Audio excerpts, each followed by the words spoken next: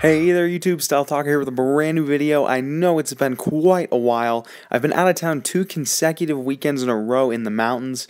Um, it's been great, but I'm sorry I haven't been able to post much recently. I'm trying to do it as much as I can. So here we go. I have a new video. It's called the Cyril Loadout. And for those of you that don't know who Cyril is or why I named it this, um, Cyril is a character from Archer, and I originally intended to call this a suppressive fire loadout because I was just I was just messing around one time and I just ran at people yelling suppressive fire to my friend and shooting at them, and it actually worked out pretty well. So um, and that's what he's known for for doing in Archer. So I'm going to show a clip from that, and then we'll get right into the video. Weapons on stun, fast and hard to the bridge, and remember, these are mutineers. Even if they try to suppressing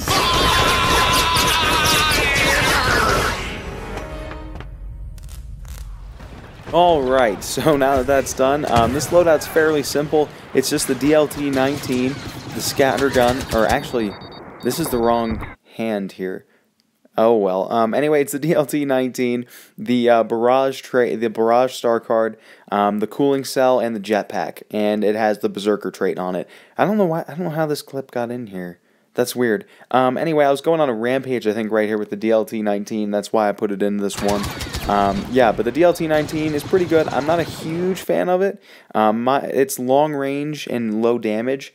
Um, and I prefer more close range, high damage guns.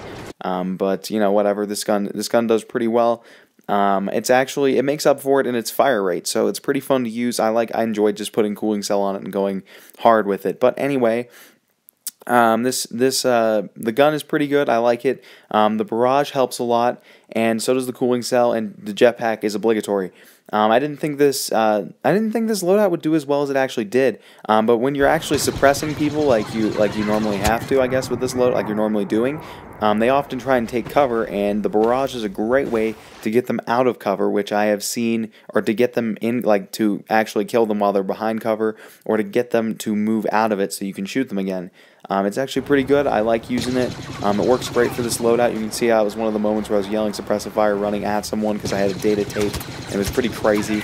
Um, this part was pretty crazy too. I don't know how I finished off these two guys. Um, it was a little weird. Anyway, um, you can see this part, the DLT-19 is pretty long range, and the jetpack just helps. I was actually sniping people from the cliff with the help of an infantry turret that I get right here. Um, and, you know, the jetpack's just great for getting into different positions. Needless to say, the jetpack is pretty awesome. Um, and then the cooling cell. The cooling cell is really fun. I enjoy using it with this gun particularly just because you can stand there and mow. By the way, this is one of those particular instances I was talking about with the barrage with this guy standing behind the tree. Um, you just kind of launch it across the map, see what happens, got him. Um, that was nice. But uh, the cooling cell with this gun's really, really good. Um, you know, the, this gun has a very, very fast fire rate, and the fact that you'd be able to just sit there without even having to control your bursts really is pretty fun. Um, you do have to kind of control your bursts at long range. At close range, you don't even have to. Um, but at long range, again, it loses accuracy after a sustained burst, so you have to control those bursts a little bit more if you're trying to go long range. If you're just trying to mow down a hero or something, um, you don't really need to do that. It, it works pretty good. Um, it's very, very accurate. Even at close range, you don't really need to aim that much. So that's nice um, about this loadout. And then I chose the Berserker trait because this gun needs a damage boost. With the way, um, with the way it's, it's just so low damage per bullet. It just to me it seemed like it needed one. Um, and I like I like the berserker trait with it a lot. Um, for me, I never aim personally. I don't aim very often, so the berserker trait's great for me. I enjoy it a lot. But if you, on the uh, contrary, there you aim a lot, then you will prefer the sharpshooter trait over this, and I think that would make it. I think that just completes the loadout and makes it great. So um, you can see here I got kind of lost in the bushes and just started mowing dudes down. Um, once you get top level damage trait on this gun, it gets it gets really really good. Um, it just it just absolutely demolishes people because it shoots so fast and each of the individual bullets are doing a lot more damage. Um, and I managed to kill that guy in the blaster cannon right before I died from the secondary fire, which was kind of cool. Um, it's just, it's a great loadout. I like it.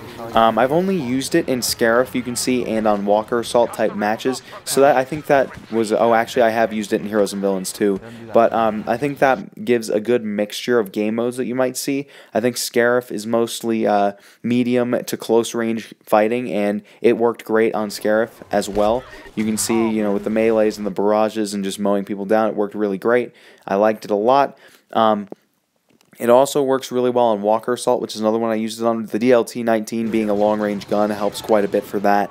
And um, in Heroes and Villains, the loadout does pretty well. The thing about the DLT-19 in Heroes and Villains is that um, you need you you need a lot more time. While the gun is good, you need a lot more time to deal high damage to heroes.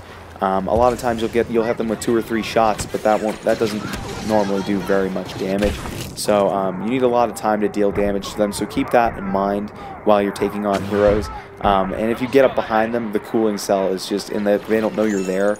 The cooling cell is just beastly against them. Um, it's it's unreal. And uh, yeah, pretty much you know that's that's the only thing to really watch out for there. Um, it's just this loadout in close close range. It can be a little bit difficult to use. Um, you might have to resort to a melee or resort to a melee or something or another to get the job done. Um, but otherwise, it's very very good, and I like it a lot. Um, I actually, I don't know why, I just really like this loadout for some reason. It's kind of fun to mess around with. You just get to mow constantly with the DLT-19. I think that's really fun. So um, anyway, I hope this gave you another awesome loadout idea, and I hope you enjoyed the gameplay and uh, all that and such. Um, thanks for watching. This is Stealth Taco signing off. Well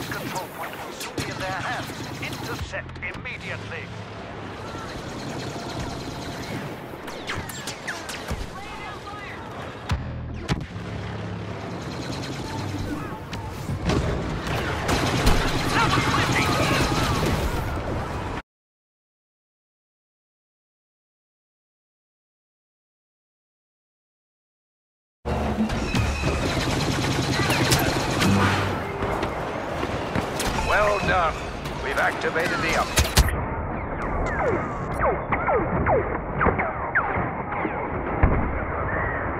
Heads up! Stormtroopers sighted! Imperial forces have turned off our uplink Because you can only get fire when you're trying to suppress the enemy.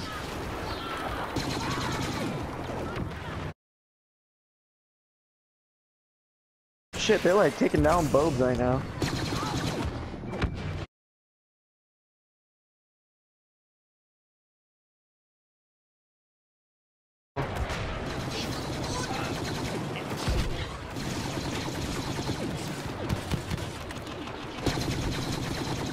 No, Luke's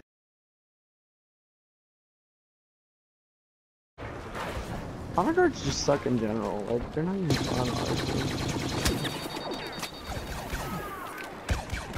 I keep forgetting that's even a thing on this. Oh shit.